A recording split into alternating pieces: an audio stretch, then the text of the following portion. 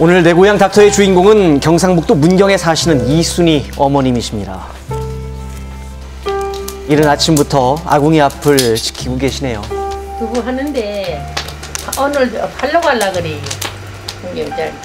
그전에는 주인이 있을 때는 옛날에 담배도 하고 뭐 많이 했는데 주인이 돌아가시고 아무것도 못해도 허리 나빠도 용돈 선남 쓰려고 하- 하니라고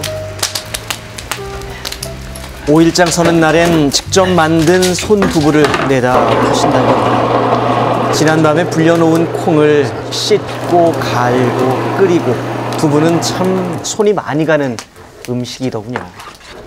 어머니께는 지난 저녁에 50여 년 동안 이어져 온 익숙한 아침 풍경이었습니다. 아이고 18에 시집 와가지고 산건 뭐 일로 뭐 살았지 이어서 뭐 어디 가질 않았지 나갈 줄도 모르고 어디 객지 나갈 줄도 모르고 세월은 흐르고 어느새 허리는 굽었습니다만 어머니의 이 두부는 가족을 위해 부지런히 만들어 오던 따뜻한 두부로서 그 자리에 남아 있습니다.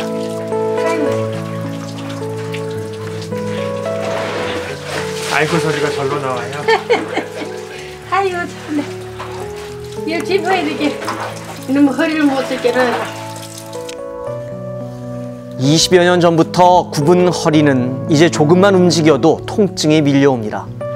그 아픔이 익숙해질 때쯤이면 하얀 두부가 이렇게 완성되죠. 이제 장에 나갈 시간입니다. 전나물 내가 이 밭에서 이렇게 뜯은 거라 이렇게 해가 있더라 그래서 물에도 안 찌지 이런 게 가에 가서 밥 비벼 먹으면 참 좋아요